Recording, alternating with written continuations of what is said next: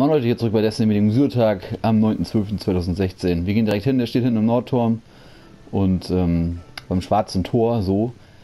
Hoffen wir gute Sachen dabei und sonst äh, drei der Münzen mitnehmen. Ne? Spielt auch ganz viel Eisenbanner. Es lohnt sich wirklich. Ihr kriegt euer Lichtlevel 400 auf jeden Fall hin. Und sonst, wenn euch äh, Geist fehlt oder Umhang etc., geht einfach in die Arkon-Schmiede und dann läuft es auch alles. So, so, was haben wir denn dabei? Okay, da fangen wir als erstes mit der exotischen Ausrüstung an. Hier oben natürlich äh, Vermächtnisengramm, Kosten von 31 seltsamen Münzen. Dann haben wir hier einmal Dünenwanderer mit Disziplin und Stärke mit den folgenden Perks. Erhöhtes Sprinttempo, erhöhtes Bewegungstempo beim Zielen mit der Waffe, engerer Wendekreis beim Sprinten. Dann erhöht die Menge an Schrotflintenmunition, die du tragen kannst und dann noch erhöhte Agilität für 5 Sekunden nach einem Argus Doppelkill. Dann haben wir hier die versiegelte Amakara-Griffe, Panzerhandschuhe für den Jäger, Disziplin und Stärke dann mit folgenden Perks gewinnen zusätzlich Nahkampfenergie und Nahkampfschaden, kann die Primärwaffe nachladen, dann erhöht das Nahkampf Nahkampfangriffstempo und zuletzt hier erhöht das Nachladetempo von Pistolen.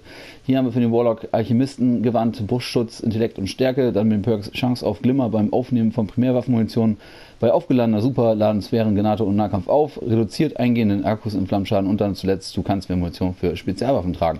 Als Waffe haben wir heute Roter Tod Impulsgewehr. Mit den folgenden Perks, jeder Kill heilt dich und beschleunigt das Nachladen. Mit dieser Waffe ist das Zielen beim Feuern leichter. Also was fehlt, auf jeden Fall mitnehmen, ne? Äh, sonst ist ja die Sammlung nicht voll. Und sonst ist es einfach lassen. So, Waffenornament haben wir hier kein Spielzeug. Lege dieses Waffenornament an, um das Aussehen von Salo Supercell zu ändern. Zerlege fünf Silberstaubteilchen. Dann als zweites haben wir Schmelztiegel, Assassine, Waffenornamente. Lege das Waffenornament an, um das Aussehen von Unbefugter zu ändern. Zerlege für fünf Silberstaubteilchen. Das mache ich wie gesagt nicht. Das ist mir zu teuer. Das bringt einfach nichts. Es ist ja nur der Skin. Deswegen lasse ich es immer liegen. So, Raritäten unten, Plasmaantrieb. Dann Schmaragd Smaragdspule. Dann haben wir hier schwere Munitionssynthese, wenn fehlt, auf jeden Fall mitnehmen. Bei einer Münze für drei Synthesen ist recht günstig. Dann haben wir hier drei der Münzen natürlich immer mitnehmen. Wenn man die nicht mehr hat, lohnt sich immer auch jetzt beim Eisenbeiner pro Match immer eine einsetzen und hoffen, dass was droppt.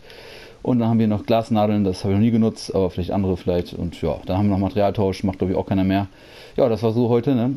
Und danke fürs Zusehen, zu hören. Lasst vielleicht ein Like, Kommentar da, würde mich freuen. Und bis zum nächsten Mal. Tschüss.